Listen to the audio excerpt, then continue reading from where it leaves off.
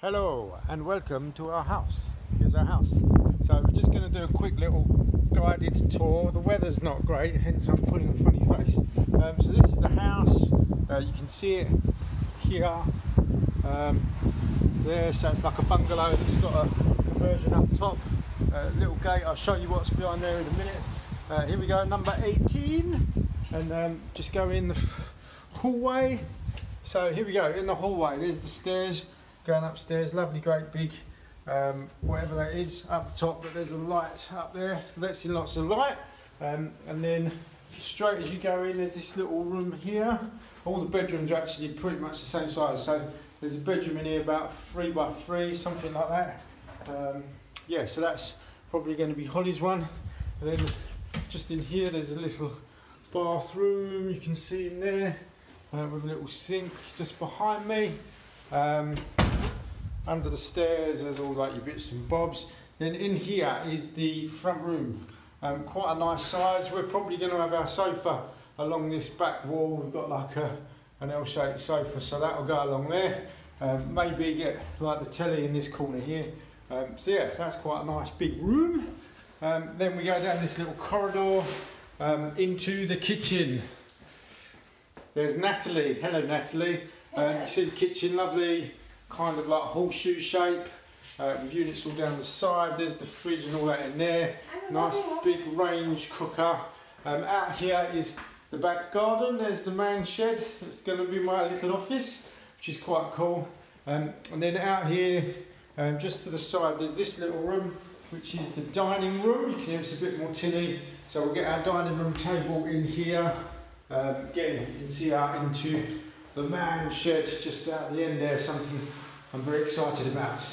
And then uh, just in here, just there's like a little utility room, which you can just see in there. So we'll probably just put all our like boots and all that for walking the dog under one end, and then the washing machine under the other one. Um, little sink and all that. And then we'll just go upstairs. Up the stairs, so up the landing, there's this lo- it's lovely and airy, really nice and tall. And there's that light, Velux light in the roof, so it makes it nice and airy. Um, so there's the front bedroom, uh, which would be one of the boys. Um, it's lovely and big. Um, whoo, feeling dizzy. And then there's this really cool in here. There's like a little cave, um, sort of in the eaves, uh, where there's all sorts of manners of wonderful things. So I'm sure the kids will probably end up hiding in there, um, as children do. Um, and then, what else we got opposite that? There is bathroom. So there's shower and bath, and then a little toilet just down there. It's all very, very, very nice. And then um, another kind of similar sized bedroom to the one downstairs, uh, which is going to be one of the kids. And then uh, in here, this is our our bedroom, which has got a view out over like neighbours' gardens and things. Oh look, the man shed again.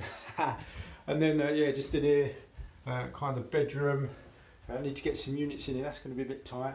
And then in here, just a little ensuite. So we got a shower, um, and a sink and radiator and all those sorts of things that you'd have, and a loft hatch just above for storage. Um, yeah. So that's the upstairs. Uh, we're really happy with it. It's great. It's going to be a bit weird having a rental rather than one we own. Kind of doesn't feel like we're moving house. It just feels like we're borrowing one for a bit. Which is a bit weird. Feels different than having bought houses before. Um, but it's a real blessing to be here. And then this is the back garden. I just do like a little spin round. Uh, so a little bit of grass, mostly patio. That's like fake lawn. Uh, the guy I used to live here had like a big jacuzzi there, which was quite cool. And then like quite a big patio bit at the back, having barbecues and things just up against that wall. That's going to be happening in the summer. And then here we go, the man shed. Let's go and have a little look in here. Um, so I've got all my weights and bits and bobs. I've just done the first two van loads over before we move in proper on Monday. And it's mostly my stuff in here from our shed at home, so that when I start working in here, I can hit the ground running, doing some videos and bits and bobs. Um, so yeah, we'll sort all this out next week. So yeah, cheers guys for checking it out, coming to visit the new place. It's lovely. I Hope you've liked this virtual tour. Um, if you are around on Bank Holiday Monday and you want to give us a hand unpacking or anything like that, um, you'd be very, very welcome.